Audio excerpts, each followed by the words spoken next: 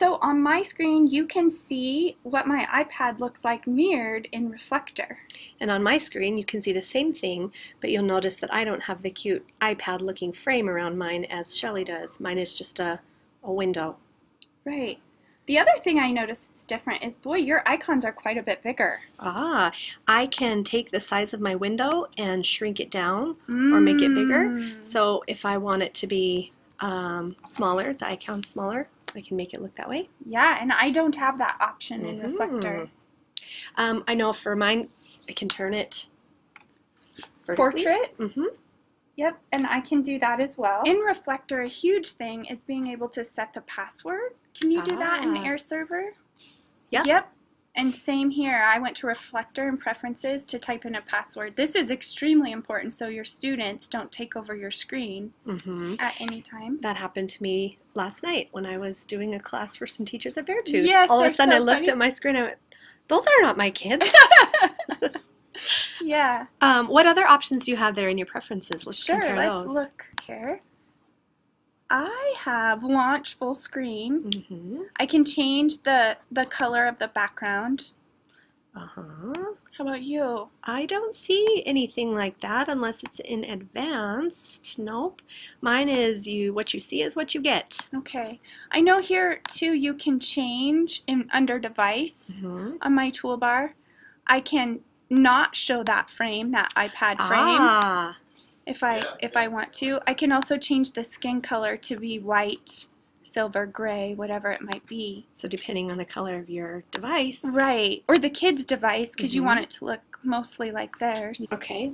And then let's open an app and see how it behaves. Sure. Which app shall we do that we both have the same? Do you have Educreations? I do. I'm going to pull down my Search. mhm, my spotlight. And I love Educreations so much that I actually have it on my toolbar. I've had a lot of teachers ask about can they, with an interactive device like a Mimeo projector, can they control the iPad from their board?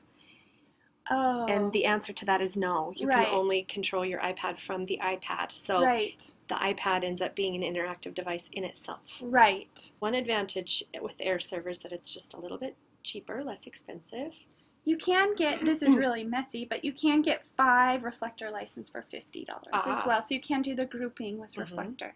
Okay.